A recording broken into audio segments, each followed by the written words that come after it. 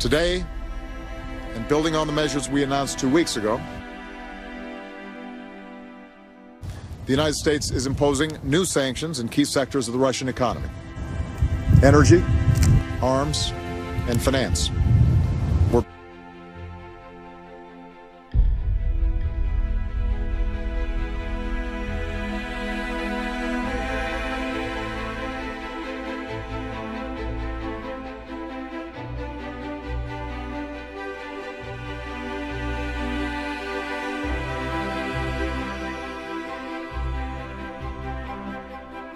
Oil prices slumped to a five-year low today, with US briefly breaching the symbolic $50.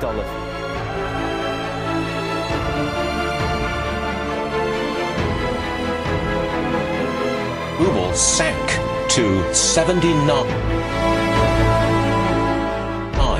to the dollar. A few months ago, it was 35. That's a collapse mode. Now,